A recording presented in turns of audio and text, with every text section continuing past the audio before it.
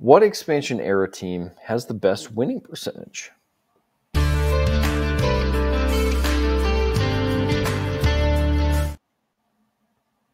Folks, it's Sunday, Sunday Showdown, coffee, trivia. I am trying to complete a comeback. I've been down. Do we have the scoreboard? We'll bring it up. There it Here's is. a scoreboard. I've been down. Now it's just a three run lead. I got to keep after it. I can't, you know, it's there's a lot of work to do. Three, three runs is a lot. It, it is, but you've already made up four out of the Yeah. seven from the first inning.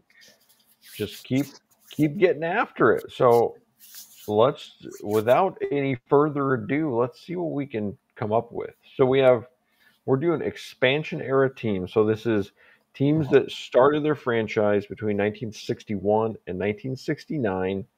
Which team has the best winning percentage? So you have the Angels, Astros, Brewers, Mets, Nationals, Padres, Rangers, or the Royals.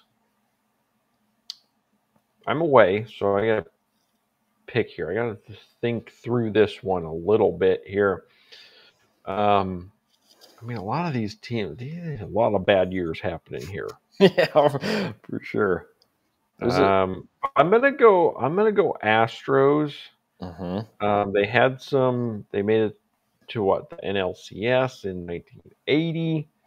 Mhm. Um, they had some decent teams through there, and then they had a few real bad years, but they've also had like the the 90s, 2000s, and then recently have really been playing well. So I'm going Astros. This is tough. Um,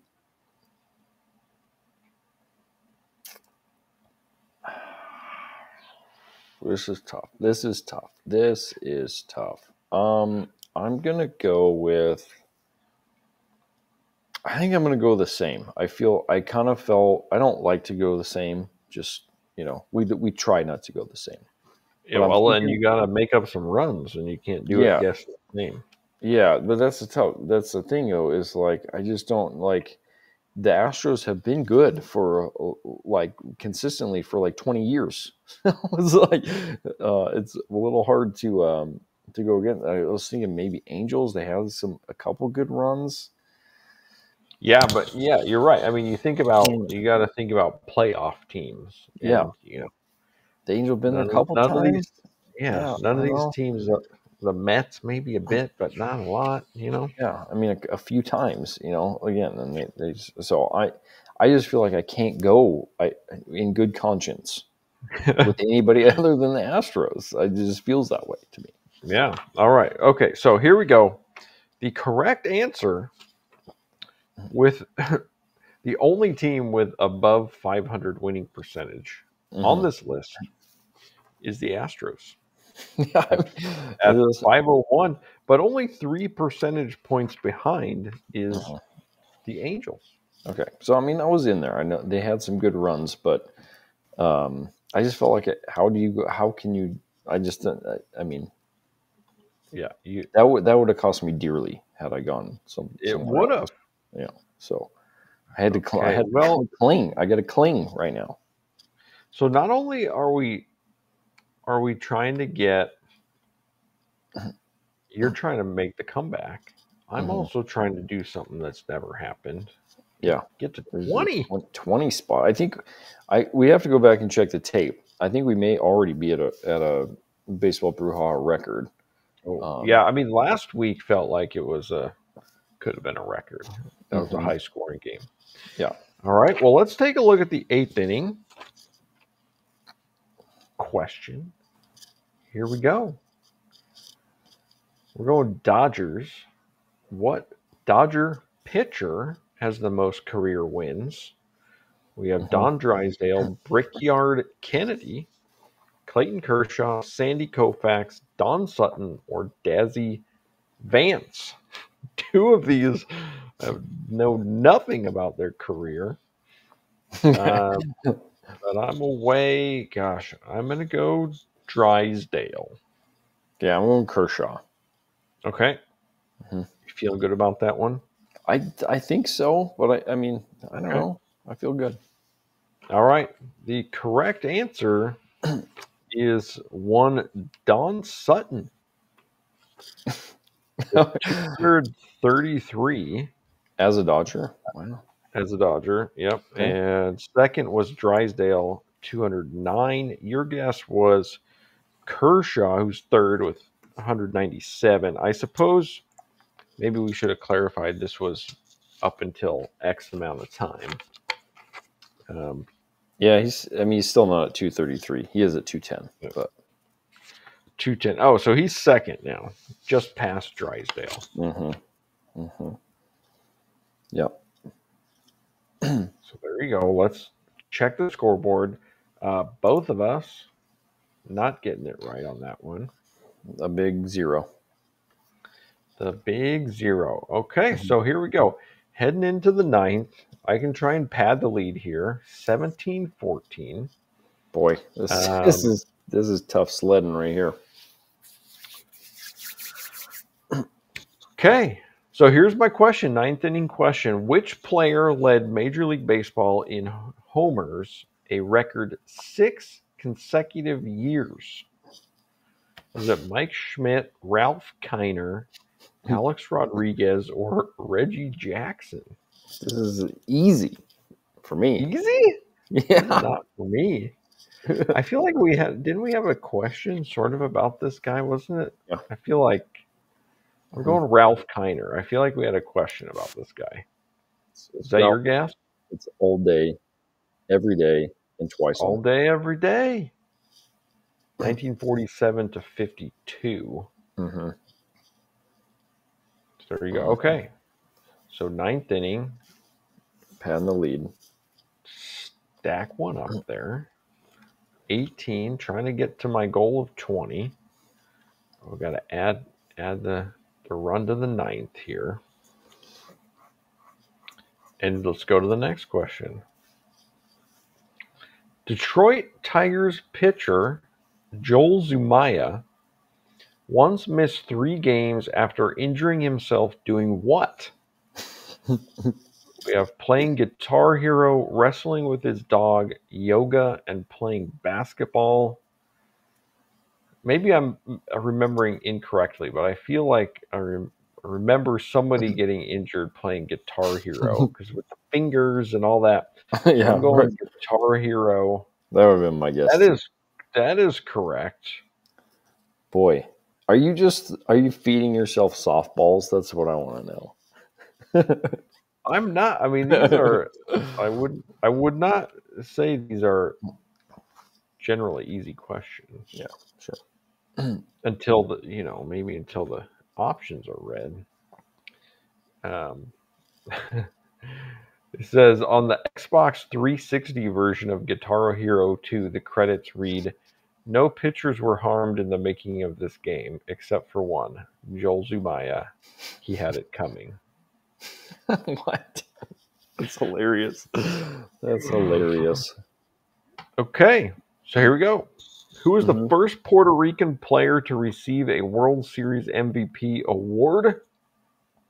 We have Ivan Rodriguez, Orlando Cepeda, Roberto Clemente, or Carlos Beltran.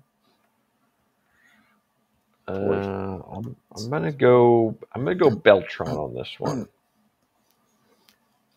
Seeing if I can get to 20. Yeah. Incorrect. What- Cepeda? Do you have a guess? Cepeda? No. I mean, I would have guessed It's- Beltran. It's Clemente. Clemente. Um, that was I- like my initial thought, but anyway. First Puerto Rican to win a World Series, to win an NL MVP award, and to receive an MVP World Series MVP. First Puerto Rican inducted into the Hall of Fame. So I didn't get the 20, but I got a five run cushion. Feeling Mhm. pretty good about that one. Aaron, here is your question. Oh boy. What this is a lot of work again. All right. What MLB pitcher would go on to become a U.S. Senator? Lefty mm-hmm. Grove, Al Downing, Roger Clemens, or Jim Bunning?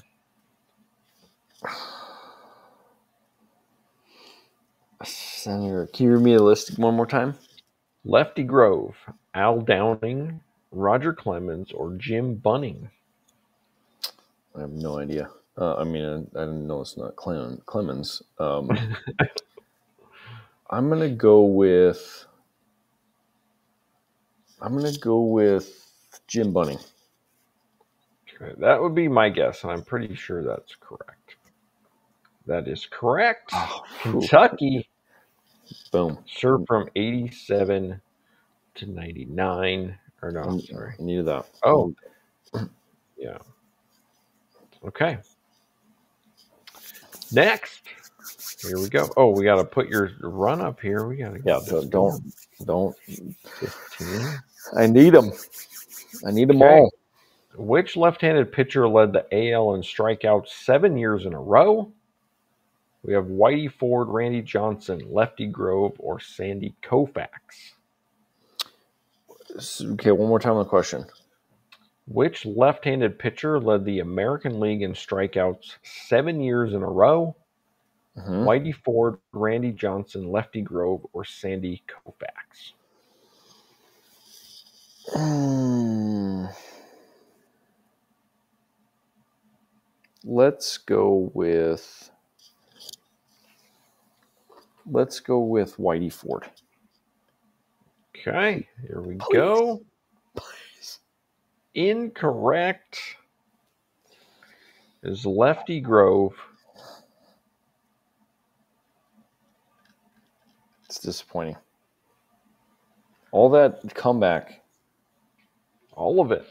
for nothing. You made you made a huge run. We had a lot of offense going. Mhm. We got to come back to the big finish on story time here. We're we're a little bit light on baseball news right now. We're really in the doldrums. I do. I have a question that would spur a little story time. Let's hit it. What do you got? So this reminds me of um, our senior year. Made the playoffs, and we did. We actually made the playoffs every year that we were in high school. Uh, we got beat out uh, in the first round, first two years. Um, but our senior year, we finally made it to out of the district tournament and into like the regional tournament. Mhm. we played in, in medical lake which we way back in this show we talked about uh, parks and all kinds of stuff. Um, and we played there and we played wilbur creston. Yeah, remember that game I do. Wasn't the final score 19 to 15? i think it was which is Yeah. a little wild but i want to hear what you remember uh, about that game because I, I think we've talked about this game um, Yeah. a little bit but i want to hear your your recollections about that game. Yeah, you know, I don't I- I remember so I started pitching I was the starting pitcher of that game.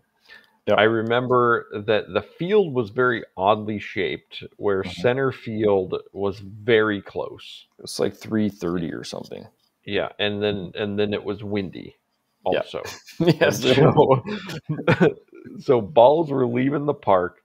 Um, I don't I don't really remember, even though it's 19 to 15 is so many runs. Mhm. I don't remember it feeling like it was just a hit parade. Um, no, that well, we'll get to my portion of it. Well, you probably touch on it. It's because it was a walk parade. yeah, so I started the game. We got a big lead, Mhm. and then um, Stu, our coach, our manager, wanted um, to preserve me a bit for um, later on in the state tournament, Mhm. and um, so he pulled me out, put you in, and then and then um, they started making a comeback. It sounds like I don't remember exactly how. I just remember them starting to make a comeback, and then um, and then he double switched me back to pitcher. So I started the game. Mhm. So I wonder how that works. You know, I started the game. We got What- ahead. yeah. Mhm. You came in. You I came. At, I came back in. Do I get the win and the save? It could be because I'm pretty sure. I'm actually, I don't know because I was trying to think in the last inning. Well, I mean, I can't remember the circumstances because I think we won by four. I don't know at what point what the score was when you re-entered the game. You know, if it would have Yeah. qualified as a save or not. But that would be an interesting, interesting little situation. The prop. So what happened was, so we got this big lead, um, and then um, um, I Stu put me into pitch, and um, I don't know if it was just me or you. I don't know what happened, but um, the strike zone was seriously like it felt like it was the size of a grapefruit. Like I could not throw a strike, and it wasn't. I couldn't throw a strike, but it wasn't like I'm like throwing it, you know, way over here, way over. Like it was right there, and I just couldn't get a call. And you know, I have to go back. If I could go back and transport and look at it, just like it, it was tough. It was the strike zone felt so small, and I could not. I walked so many guys, um, and that's what got I back into the game. Is I couldn't I couldn't get anybody out, and every I had to throw everything right down the middle of the plate, um, and I didn't have overpowering stuff. So it was just like, you know, you throw seventy eight right down the middle to a team that's in the state champ state tournament. Like, I mean, you're going to get beat. So, um, so that that was that was one of my least fun. I've had a few unfun pitching. I, I mean, I could throw strikes. I had some good games. Um, I had some bad games. I remember a Legion game. I gave up like 13 runs before Burdett was finally like, "All right, let's, get this guy out of here." Um, but by then, it was all it was all mop up. It was all John Briscoe time at that at that point of the yeah. point of the game. But you, but in that Wilbur Creston game, you hit a home run. I actually I hit it in the previous game. So Really? yeah. Oh, okay. So we played a double header. So yeah, yeah. You play the way that that tournament worked is you played double header um, on that Saturday. So we played Mossyrock. Was it Mossyrock? Yeah, I think it was Yeah. Mossyrock. Mhm. We played in that first game. I hit my first career home run over a fence in high school in my fourth to last game. um, against Mossyrock to that 330 dead center. So um, I did hit a double in the Wilbur Creston, but I remember I only went two for 10 in that double header, which was I, I hit 540 for the season. It was not my a good showing, and part of the problem was I was trying to hit a home run, trying to hit a home run. So uh, pop ups and um, yeah, I mean it's, it's tempting. It it felt Yeah. short. Plus the the wind. It was just like Mhm. You know Yeah. you're talking with your teammates about just just get it up in the Mhm. air. You know it'll Mhm. it'll carry. we we had a couple guys. So um, I remember we had talked about this before in a different show, but our buddy uh, Mitch hit one of the hardest, like lowest line drives that I've ever seen for a home run. Um, I mean, it, it seriously was like it couldn't have gone more than ten feet in the air. It was insane. Hit the first row, but it was like just an absolute missile.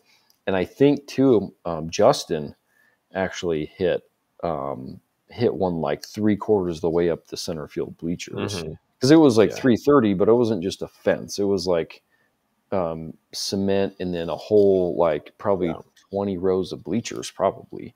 Um, Yeah. and he hit it like three quarters.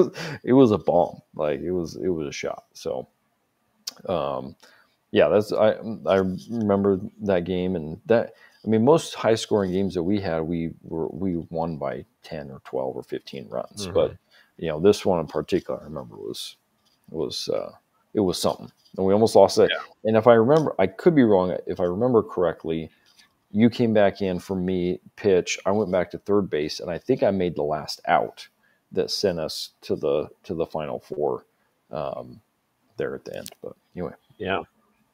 A lot of fun. Yeah. I if anybody knows, put your comments in there if I start and then leave and then come back in. Do I get the win and the save? yeah. And would you have, would you have technically gotten the hold in that situation?